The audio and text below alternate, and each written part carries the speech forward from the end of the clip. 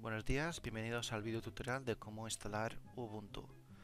Hoy vamos a instalar este, este, sistema operativo en su última versión.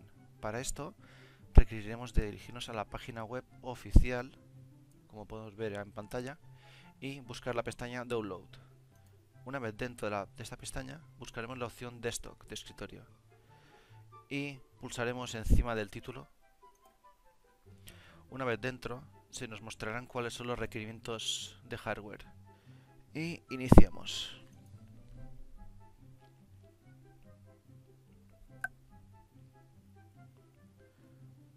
Se nos abrirá una ventana y iniciará la, iniciará la instalación.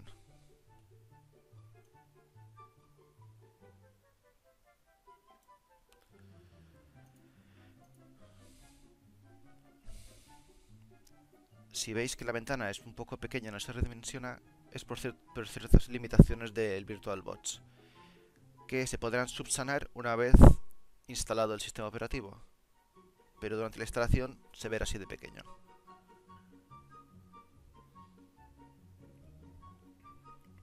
Esperaremos que se carguen los archivos, no, no seáis impacientes.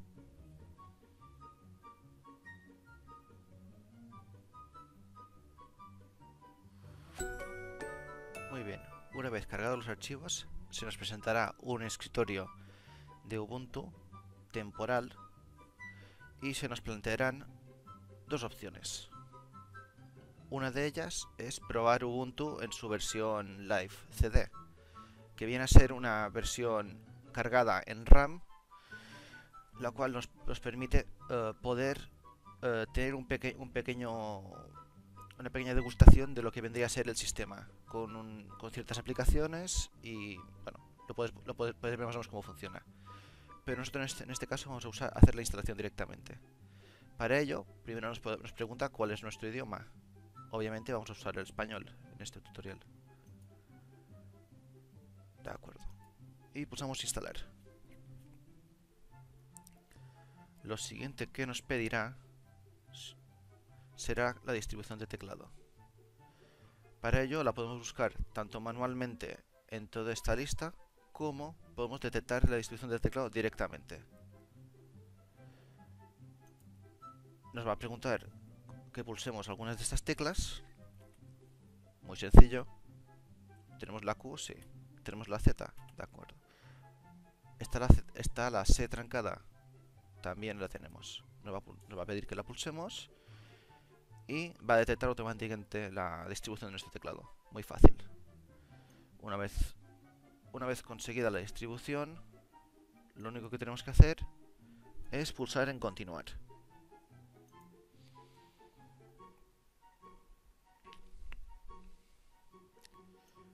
Muy bien. Ahora nos va a preguntar sobre, sobre actualizaciones y software a instalar.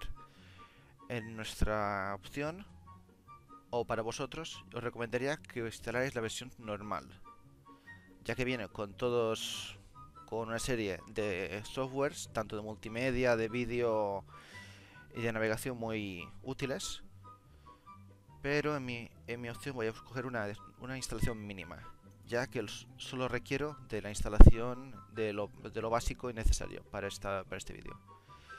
También nos pide la opción de descargar actualizaciones directamente de Ubuntu mientras se, mientras se instala, ya que esto acelerará el acelera los acelera después el trabajo. Pero no requiero que me instale nada ahora mismo. Luego ya ya mmm, luego ya aceptaré yo yo mismo las descargas y pulsamos a continuar.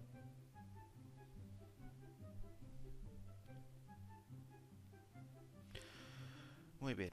Ahora nos pregunta por, ciertas eh, opciones de instalación. Podrías optar por la versión, por la opción rápida, en la cual no tenemos ningún otro sistema, aunque si lo tuviéramos el mismo sistema de Ubuntu, sistema de instalación de Ubuntu, lo detectaría y nos preguntaría si quisiéramos hacer una partición de arranque para que pudiéramos arrancar tanto el otro sistema como Ubuntu. Para hacer esto, primero para hacer esto no tenemos que instalar primero Ubuntu y luego otro sistema, sino que se tiene que instalar primero el otro sistema, ejemplo Windows, que es bastante agresivo en estos casos, y si se instalara después de Ubuntu, lo que haría sería borrarlo todo y ponerse él encima. Pero en este caso no hay nada, así que podemos instalarlo sin ningún problema. En otras opciones, serían unas opciones avanzadas que nos permitirían la partición del disco con sus, distintas particiones primarias, de arranque y de almacenamiento. Pero nosotros en esta opción vamos a optar por la simple. E instalaremos. Nos, pregunta y nos informa de que van a crear una serie de, una serie de particiones. Le damos, a, le damos a dar a continuar.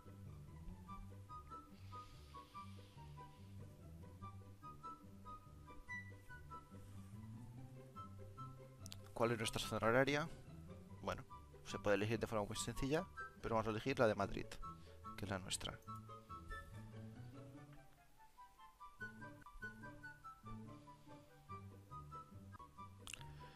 Nos pregunta por nuestro nombre y por una contraseña obligatoria. Esta contraseña mm, puede, te va a preguntar si es que sea obligatoria para iniciar sesión pero teniendo en cuenta si el sistema si el es un sistema de escritorio fijo tipo torre torre o PC fijo que nos vaya a mover de casa esta mm, no, es no, hace falta. También hay que añadir que estas estas contraseñas no las puedes poner al tuntún porque te, luego te las, va a te las va a pedir cuando vayas a hacer instalaciones o modificaciones como administrador del sistema. Pero esto ahora mismo no nos interesa. Le damos a continuar y esperamos que se copien todos los archivos. Este, este punto de la instalación puede ser algo largo dependiendo de cuál sea tu hardware, por lo que les recomiendo, os recomiendo que lo toméis con calma y vayáis a hacer otra cosa de mientras.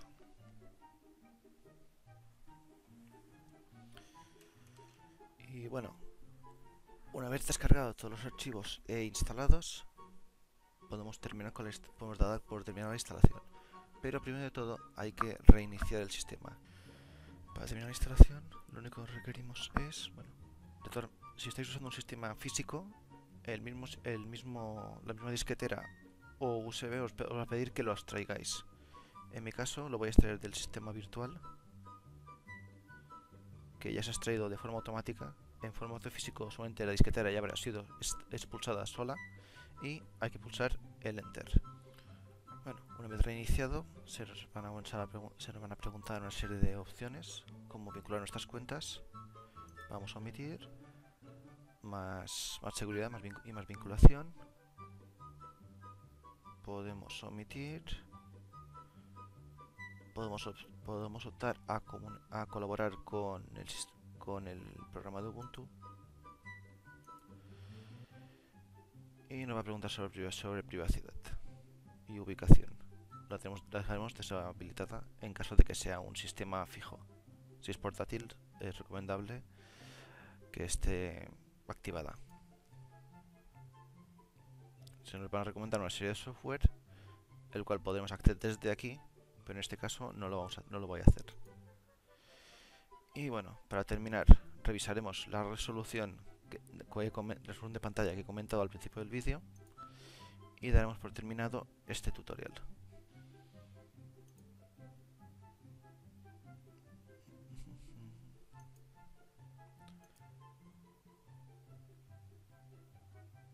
Creo que esta resolución podría ser correcta.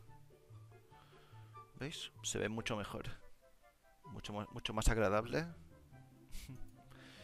Y bueno, con esto damos por terminado el video tutorial. Muchas gracias. Bueno, nos está preguntando si queremos actualizar.